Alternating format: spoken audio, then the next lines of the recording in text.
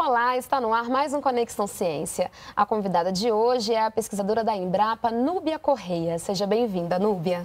Obrigada, obrigada, Juliana, pelo convite. Para mim é uma grande honra participar do programa e espero complementar e colaborar no que for possível. Ok. Hoje, então, vamos conversar sobre plantas daninhas. Não saia daí. O Conexão Ciência já está no ar.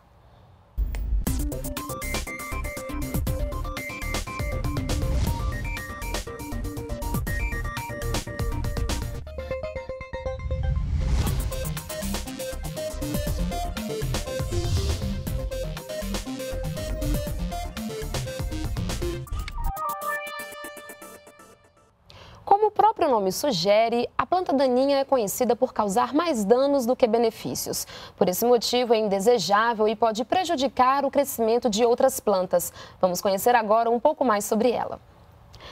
Nubia, então, quais as principais características de uma planta daninha? Então, primeiramente, Juliana, essa planta daninha, ela não passou por nenhum é, processo de melhoramento genético. Então, ela tem, basicamente, ela é uma planta muito rústica e todas as estratégias de sobrevivência dela é para manter a perpetuação da espécie. Uhum. Então, imaginem uma planta produzindo 200 mil sementes. Essa é uma característica da planta daninha, ela produz uma grande quantidade de sementes por planta. Outra característica da planta daninha é a grande eficiência que ela tem de disseminar as suas sementes. Então, além dessas, dessa facilidade de produção de sementes e disseminação das suas sementes, ela desenvolve algumas estratégias para facilitar a perpetuação dela no ambiente, como dormência e longevidade de sementes. É uhum. só para você entender como isso acontece, Sim. né?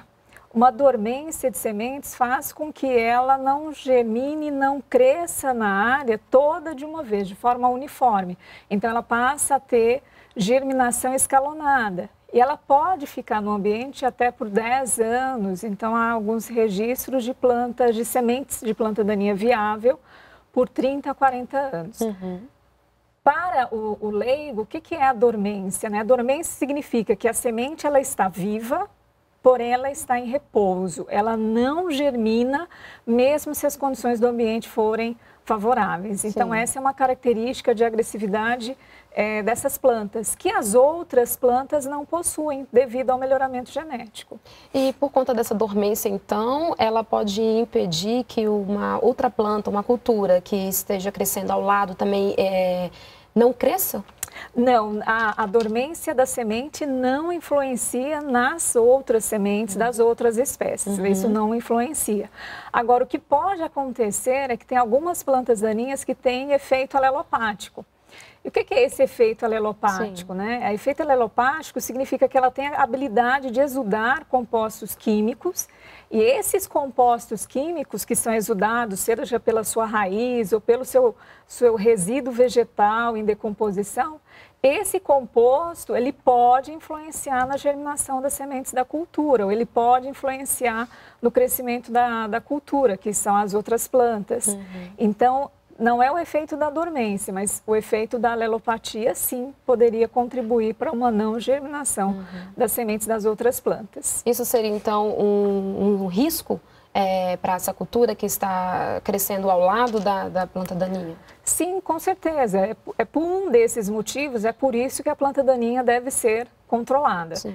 Na realidade, um conceito que eu acho bem interessante para entender o que é uma planta daninha. Na realidade, qualquer planta pode ser uma daninha.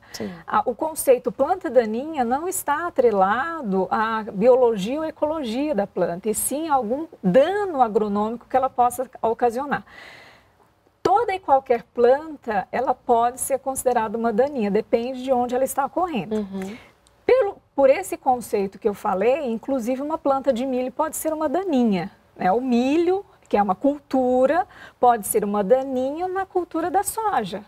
E quando isso acontece? Principalmente nas áreas que faz sucessão de cultura. Você planta milho, aí você colhe o milho e você entra com a soja.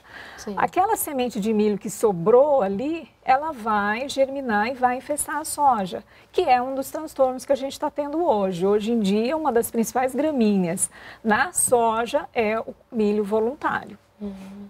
No bem, onde que geralmente né, as plantas daninhas ocorrem? lugar. Você tem planta daninha no quintal de casa, no jardim, no parque, na praça, na agricultura, na pecuária. Então a gente tem a planta daninha para todo lugar.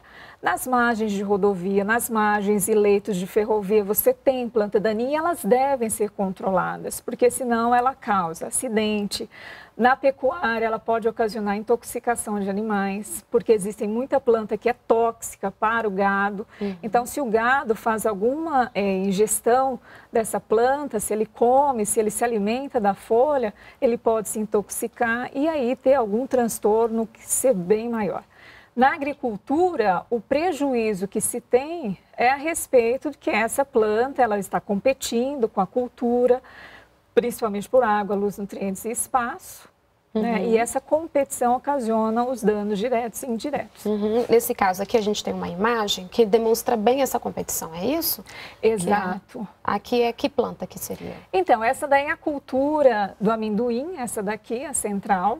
E essas plantinhas que estão nascendo aí são as plantas daninhas. Uhum. O que é interessante chamar a atenção é que no início do desenvolvimento a planta daninha é muito pequenininha. Então ainda não tem uma competição estabelecida.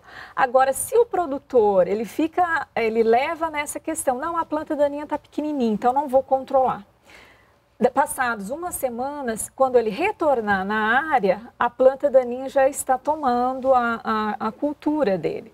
Então, esse é um outro grande problema. Uhum. O produtor ele tem que ficar atento à questão do manejo já no início da instalação da sua cultura. Nesse caso aí, é o exemplo de uma infestação de planta daninha com o amendoim.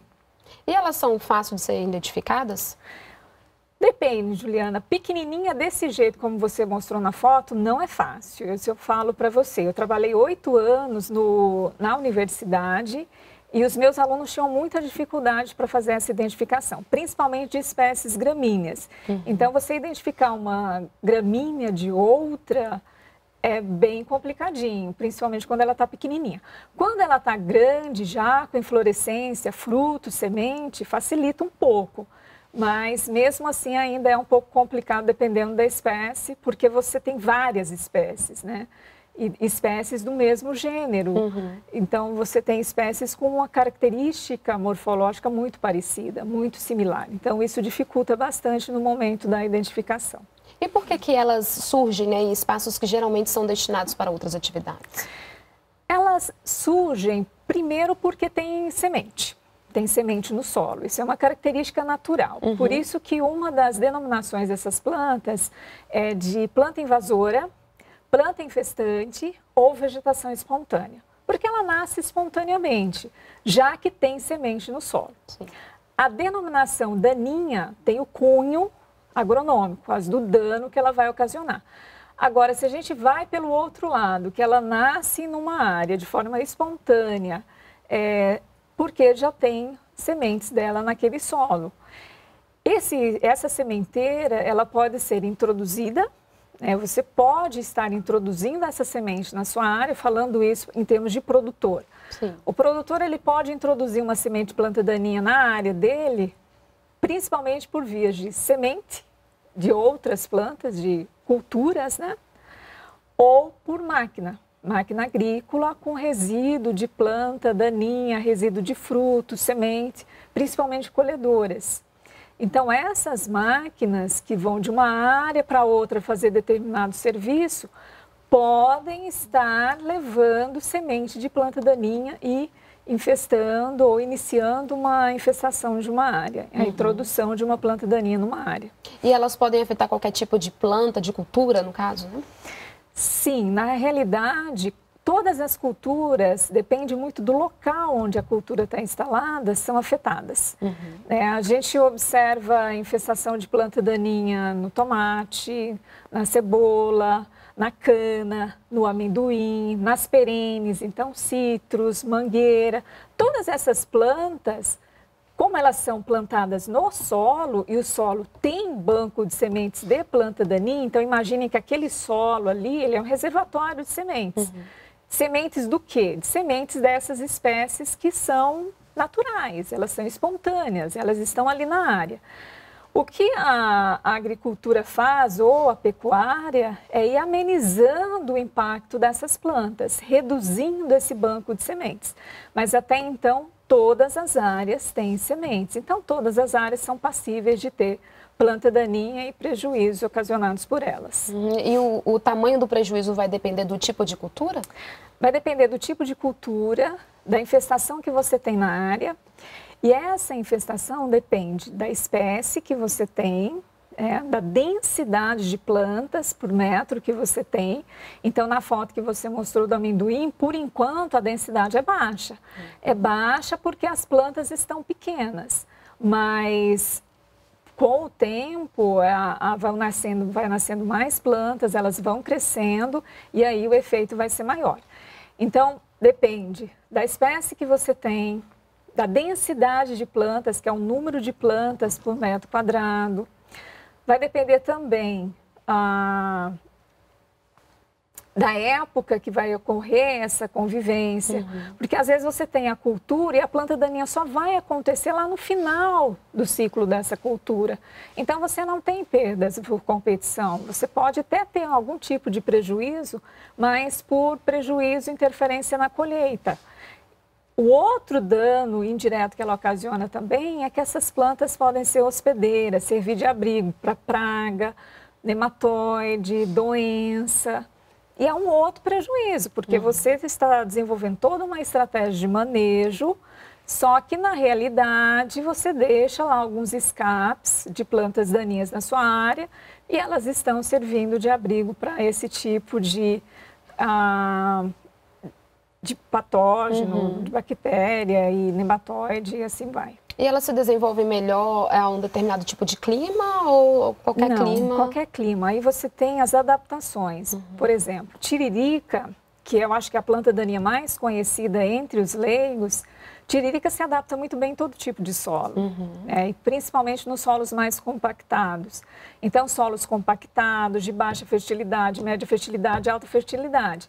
Então, mas temos espécies mais adaptadas a uma condição de solo, solo mais ácido, solo mais arenoso, solo mais argiloso. Uhum. Porque hoje, Juliana, a gente tem uma gama de espécies muito grande.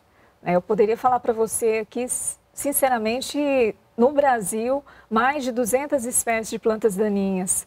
A gente tem uhum. as principais, as mais populares.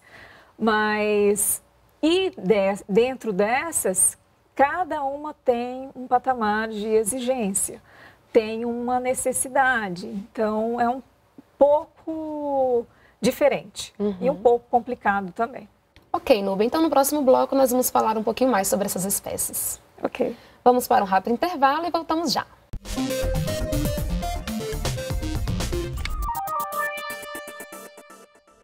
Estamos de volta com Conexão Ciência. Hoje eu converso com a pesquisadora da Embrapa, Núbia Correia, sobre plantas daninhas. Rubem, então voltando um pouquinho às espécies, né? Quais as principais ou as mais conhecidas? Eu acho que para os leigos a mais conhecida é tiririca, que é a espécie Cíperus rotundus. E ela é muito conhecida, você tem que até uma foto aqui, né? dela aí. Uhum. Ela é muito conhecida, inclusive, porque ela tem a, a, o tubérculo, que é a batatinha, né? Uhum. E essa batatinha faz com que ela seja uma planta de difícil controle. Essa planta é uma que eu falei que se adapta em todo tipo de solo, inclusive solos compactados. E aí nós temos várias. É, nós temos a Maria Pretinha, que é muito comum nas áreas de tomate e batata.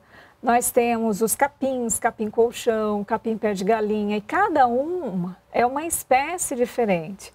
Nós temos na soja, no milho, problema bastante hoje com o capim amargoso, que é o digitar insulares.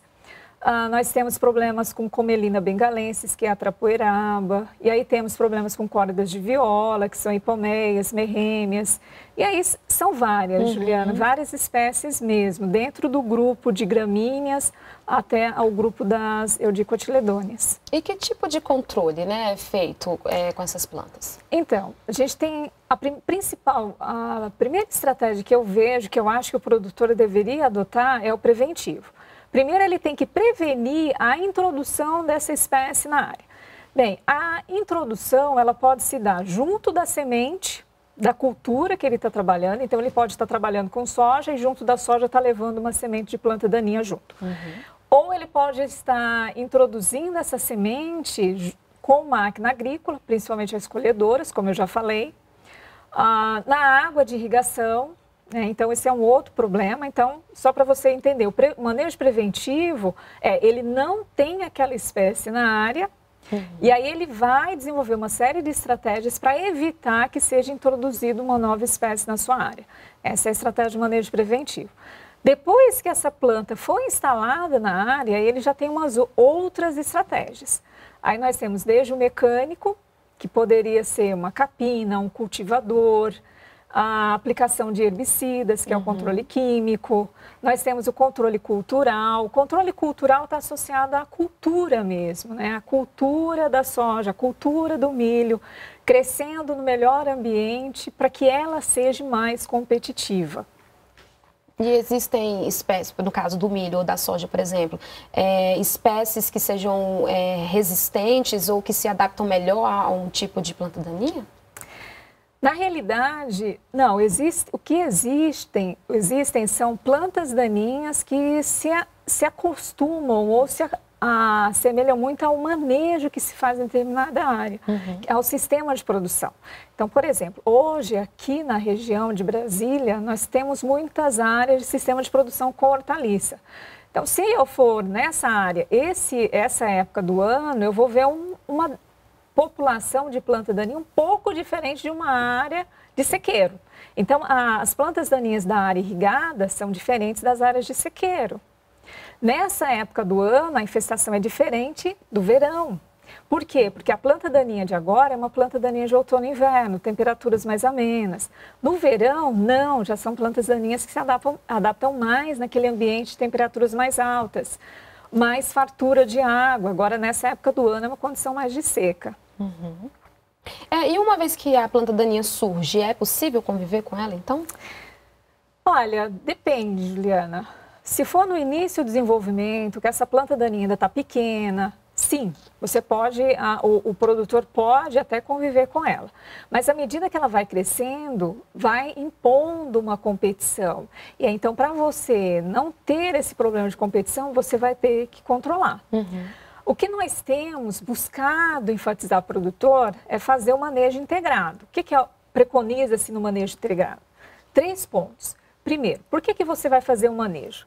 É, eu vou fazer um manejo para evitar competição. Ótimo. Segundo ponto, eu vou fazer um manejo para evitar aumento do meu banco de sementes. Bem, pensando por esse lado, então eu vou manejar essa planta daninha antes que ela produza sementes. Ótimo. Aí você está fazendo manejo. Eu vou fazer um manejo procurando desenvolver uma estratégia sem agressão ao meio ambiente. Sim. Ótimo. Você está levando pela questão ambiental. E o quarto ponto, eu vou fazer uma estratégia de manejo para beneficiar minhas condições de colheita. Então, esses são os quatro pilares do manejo que o produtor deveria adotar. E aí sim ele tem uma área mais fácil dele conviver com as plantas daninhas. Se ele for unicamente no controle químico, ele vai ficar totalmente dependente da tecnologia. E a questão do, do, do, produto químico, né, dos herbicidas, como você falou, é importante, mas que tipo de impacto pode causar ao meio ambiente? É, os herbicidas, pelo próprio nome, herbicida, é, sida mata, mata planta. Então, eu tenho que ficar muito atenta, porque eu posso aplicar um herbicida numa soja e ele ter um problema de deriva e afetar uma cultura do tomate vizinha. Uhum. Ou ele pode deixar um resíduo no solo e afetar a cultura que eu vou fazer a instalação posteriormente, que seria uma hortaliça, um feijão, um trigo, isso pensando numa soja e no milho verão. Então, assim, quando a gente fala de herbicida, é muito diferente de inseticida e fungicida, porque o inseticida e fungicida não tem essa periculosidade para as outras culturas, a não ser que você trabalhe com doses muito altas. O herbicida é um pouco diferente, ele não tem tanto problema em termos de resíduo no produto colhido, porque você aplica no início do ciclo, então você fez a semeadura da cultura, você está aplicando ali no início, E aí ele não tem capacidade de deixar resíduo lá na frente quando você for colher. Então essa é uma grande vantagem. Então eu vou comer um alimento que realmente não tenha resíduo de herbicida. Sim. Só que por outro lado, ele pode deixar resíduo no solo, ele pode deixar ainda moléculas no ar, na atmosfera, uhum. ou ainda pode contaminar a água. Então, o grande problema hoje que eu vejo de herbicidas para o ambiente é a contaminação de solo, água e ar. Contaminação do produto colhido, que pode ser um grão, pode ser um fruto, isso daí é muito pouco provável, porque geralmente eles são pulverizados bem antes deles, desses produtos serem produzidos pelas plantas. Uhum. Agora, quando se fala no ambiente, a água, por exemplo, é, até um estudo que eu tenho na região, em Cristalina, avaliando os resíduos de herbicida nos mananciais hídricos. Então, você pode ter esse herbicida foi pulverizado em uma área, mas ele pode ser encontrado em outra área, distante daquele ponto de aplicação. E isso está muito associado à condição é, de solo, de clima, no momento que o produtor fez essa aplicação. Porque ele pode ser perdido por deriva, por uhum. lixiviação, por escorrimento superficial, e aí contaminar algum manancial de água. Esse é um, é um prejuízo. Mas está associado não ao herbicida em si, Sim. mas a umas as práticas de manejo que o produtor tem que adotar na sua área, uhum. senão realmente vai ser um problema. Então é importante saber usar o produto. Né? Sim, o herbicida é um produto extremamente técnico. Eu recomendo até, e eu acho que é interessante, o produtor, sempre que fizer uso da molécula, que faça consulta com o engenheiro agrônomo.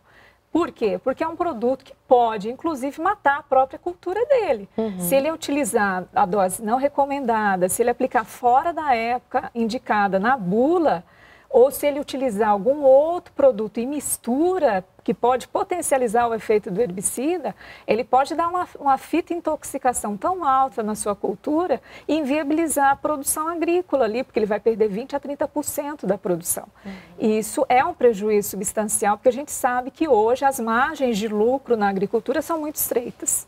E com o tempo, Nubia, a planta daninha ela pode criar uma certa resistência também a esses produtos? Pode. O que acontece no campo, Juliana, é que nós temos uma grande diversidade de indivíduo mesmo, planta, planta, planta. Uhum. Então você tem a mesma espécie de planta daninha, mas com mil plantas naquela área. Naquelas mil plantinhas, uma é um pouquinho diferente. Uhum. É a uhum. mesma espécie, só que aquela uma planta nasceu com uma característica metabólica diferente. Ela consegue é, metabolizar, ou ela não absorve, ela não transloca o herbicida. Então você aplica, 999 morre e uma sobrevive. Isso daí é uma coisa normal, é natural nós, seres humanos, somos da mesma espécie, nós somos diferentes. Então, as plantas, da mesma forma, elas não são idênticas. Bem, só que aí o produtor, ele utiliza sempre o mesmo herbicida. Aí ele vai na próxima etapa e pulveriza novamente o mesmo produto. O que, que vai acontecer? Aquela planta que sobreviveu na primeira aplicação, ela vai produzir sementes, ela vai aumentar o banco de sementes do solo e só quando 30 a 40% da área não for mais controlada, aí que ele puxa, tem algum problema, porque eu estou aplicando o herbicida e não está controlando. Na realidade, houve uma seleção de resistência um uso indevido do herbicida. Uhum. Agora então para finalizarmos, né? As plantas daninhas, então, elas só apresentam pontos negativos? Tem algum ponto é, que beneficia, né, a favor na agricultura? Sim, tem vários pontos positivos. Por exemplo, a gente tem plantas daninhas que são forrageiras. Ela é considerada daninha porque naquele momento ela está indo contra os interesses do homem. Por exemplo, braquiária decumbens, né? o capim braquiária é uma forrageira. Uhum. Então, assim, você pode ter braquiária decumbens como pastagem, mas você pode ter braquiária decumbens na cana-de-açúcar. Na cana, não me interessa, mas como pastagem, sim. Capim colonião, da mesma forma, é uma excelente forrageira, mas também pode ser encontrada em outro tipo de ambiente agrícola. A própria mucuna, mucuna é um adubo verde, mas você também pode encontrá-la infestando culturas. Então, quando você tem plantas servindo como forrageira, adubo verde, fontes de pólen, néctar para inimigos naturais, é, você tem uma diversidade muito grande. Eu até brinco que eu já tive alguns alunos que saíram da universidade depois falando assim, professora, eu estudei muito planta daninha com a senhora, mas depois eu fui trabalhar com planta medicinal e estavam lá grande parte das espécies. Sim, porque na realidade, biologicamente, elas não são daninhas. Elas são daninhas porque em determinado momento elas se encontram em um lugar que não é desejado. Luba, então muito obrigada pela entrevista e pelos esclarecimentos. Eu que agradeço a oportunidade tendo qualquer outros esclarecimentos a prestarem sobre o assunto, estou à disposição. Ok, muito obrigada. E o Conexão Ciência termina aqui. Confira os dias e horários das reprises na página da EBC ou da Embrapa na internet. O programa também está disponível no canal da NBR no YouTube. Obrigada pela companhia e até a próxima semana.